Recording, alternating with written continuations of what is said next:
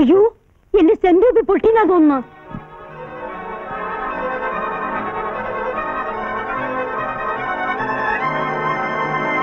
എന്നാടി നിന്റെ സാരികൾ കൊണ്ടുപോ. ഇതാ എടുത്തോണ്ട് പോ. നീ അത്രയ്ക്കായോടി നിന്നെ ഞാൻ. വെറുതെ ഇവിടെ നിന്ന് വിചാരിക്കണ്ട. കൊണ്ടുപോ?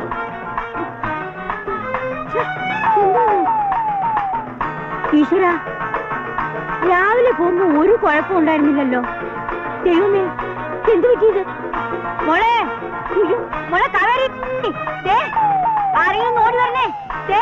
അച്ഛന് വട്ടള തോന്നാ. ആരെങ്കിലും ഒന്ന് പിടിച്ചോണ്ടേ ശശി.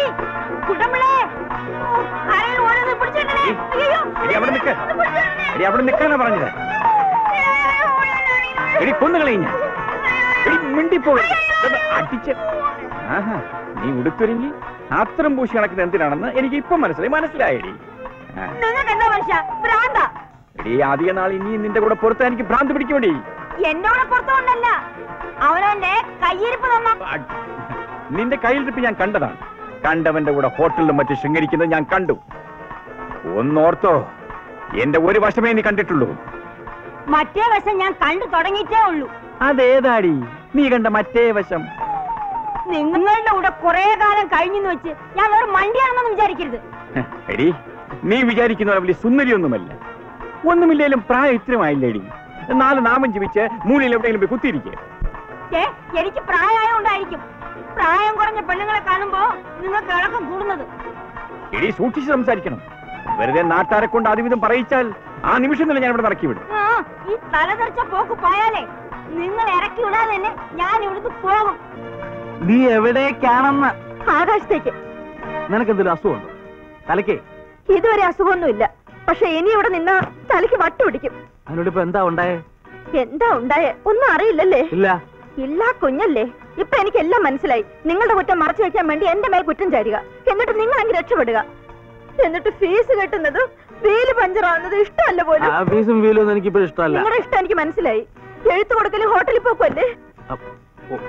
ഓ- കണ്ടോ കണ്ടോ? അത് പറഞ്ഞപ്പോ മുഖത്തൊരു ചമ്മൽ. നീ കണ്ടോ ഹോട്ടലിൽ പോകുന്നത്? കാണുമെന്ന് വിചാരിച്ചില്ലല്ലേ? എന്നാൽ പാറു ഞാൻ ഒരു കാര്യം തുറന്നു പറയാം. തുറക്കാൻ വേണ്ട അടയ്ക്കാൻ വേണ്ട. എനിക്കൊന്നും കേൾക്കാൻ വേണ്ട. ഞാൻ പോവാണ്. പാറു ഞാൻ പറയുന്നത് നീ ഒന്ന് കേക്ക്. എനിക്കൊന്നും കേൾക്കണ്ട ഞാൻ പറഞ്ഞില്ലേ? ഞങ്ങൾ പാവങ്ങളാണെങ്കിലും ഉള്ള കഞ്ഞുള്ളം കുടിച്ച് മനസ്സമാധാനത്തോടെ ജീവിച്ചോളാം. നീ വിചാരിക്കുന്നതല്ല. എന്നെ വിട്. നീ വിചാരിക്കുന്ന നല്ല കാര്യങ്ങൾ. ഞാൻ പറയുന്നത് നീ കേക്ക്. എനിക്കൊന്നും കേൾക്കണ്ട. പറു ഞാൻ പറയട്ടെ. നാട്ടുകാർ കേൾക്കും. അത് നേരത്തെ ആലോചിക്കണമായിരുന്നു. പറു ഞാനാ പറയുന്നത് നീ പോരുന്ന് പോകും. ഞാനാ പറയുന്നത് പോകരുത് പോകാന്ന് പറഞ്ഞില്ലേ? ഞാൻ പറഞ്ഞാ നീ പോകും. പോകും. തീർച്ച? ഉറപ്പ്. എന്നാ കൂടിയല്ലേ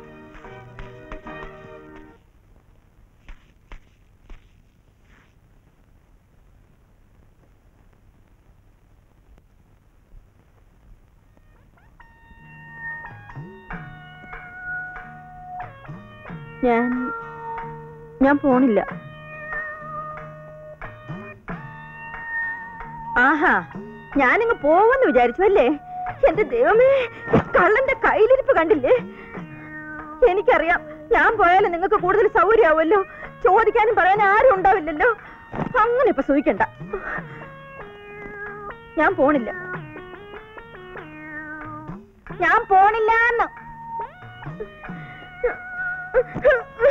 Oh,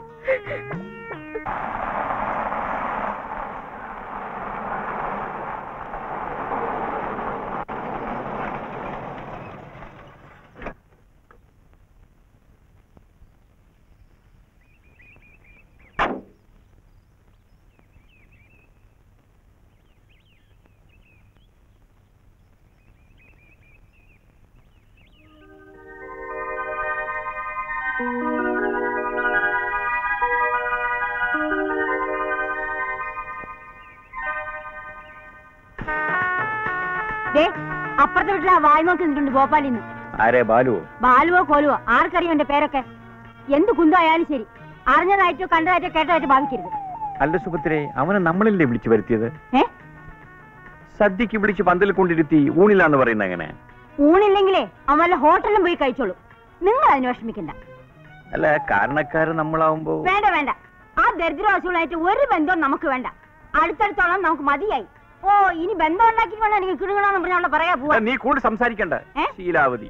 എന്താ എന്താ എനിക്കെന്താ ഒരു കുഴപ്പം? ഏ, കുഴപ്പം നിന്റെ ദേ, എന്തിനാണ് ഈ സ്വന്തം പലയുടെ കുത്തി മണപ്പിക്കുന്നത്? ആ ഇത് തന്നെയാണ് എനിക്കും പറയാനുള്ളത്.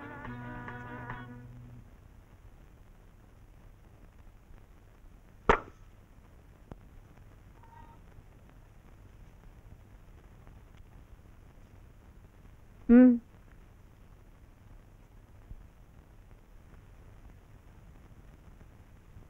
ഏട്ടതേ അപ്പോ ഈ കല്യാണ കാര്യം എങ്ങനെയാ? പറ്റിയൊരു പെണ്ണിനെ കാണുക.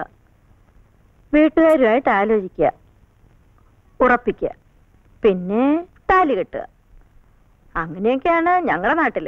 ഭോപ്പാലിൽ എങ്ങനെയാ? അവിടെ അങ്ങനെയൊക്കെ തന്നെയാ.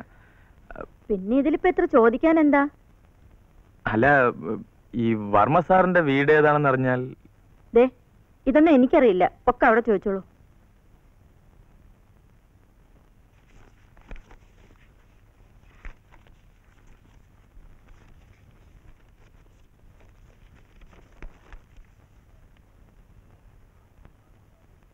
ചേട്ടാ ആ. ഈ വർമ്മ സാറിന്റെ വീട് എന്നാ പറഞ്ഞു ഞാൻ ഒന്നും പറഞ്ഞില്ലല്ലോ വീട് ഏതാണ്? ആ. വീടോ? ഇത് വീടാണ്.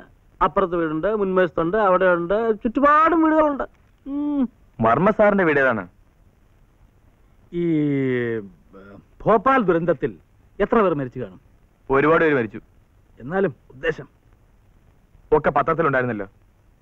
വർമ്മ സാറിന്റെ വീട് ഏതാണ് ഉണ്ടായിരുന്നത് പത്രത്തിലുണ്ടായിരുന്നത് വായിച്ചു. എന്നാലും ശരിക്ക് എത്ര പേര് മരിച്ചു കാണും? ശരിക്കും വരണമെങ്കിലേ പോയി എണ്ണി നോക്കണം. ഓഹോ. വർമ്മ സാറിന്റെ വീട് ഏതാണ് വർമ്മയും കീർമ്മയും ഒരു കാര്യം ഞാൻ പറഞ്ഞേക്കാം. മര്യാദയ്ക്ക് ഇവിടെ ഞാൻ ഇറങ്ങി നോക്കിയിരുന്നോണം. എനിക്ക് ഇഷ്ടപ്പെട്ടാക്കാതെ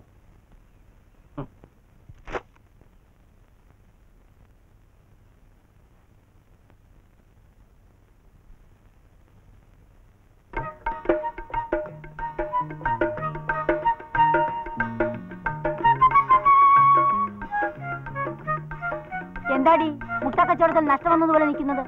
എന്തെങ്കിലും വേണമെന്ന് വെച്ചാൽ എടുത്ത് കഴിക്കുക അവിടെ ഇരിക്കുക വന്നു തോന്നണേ.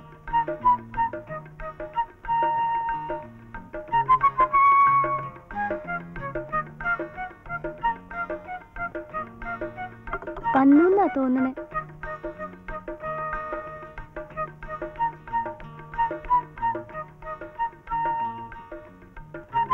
ഇവിടേക്ക് വരുമായിരിക്കും ആരെ?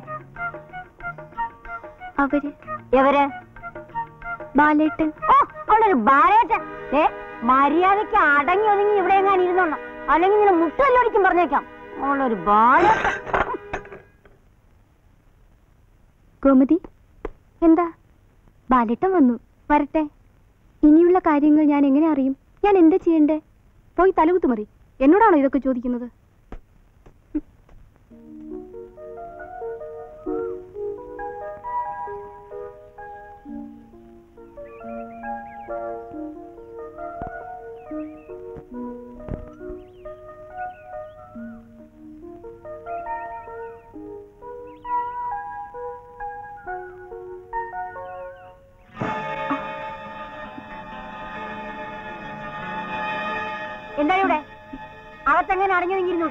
ഏ?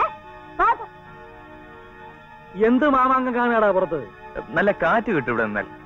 കാറ്റിനകത്ത് ഫാൻ മാറ്റി വെച്ചിട്ടുണ്ട്. ചേട്ടൻ എന്തിനാ ചൂടാകുന്നത്? ആ വീട്ടിൽ ആരാ താമസം ചേട്ടാ? അത് മനസ്സിലായില്ലേ? അത് വീടല്ല. സൂ. കാഴ്ച ബംഗ്ലാവ്. പിന്നെ പതിവിന് വിപരീതമായി ചില നാട്ടുമൃഗങ്ങളെ അവിടെ താമസിപ്പിച്ചിട്ടുണ്ട്. പോത്ത് എരുമ.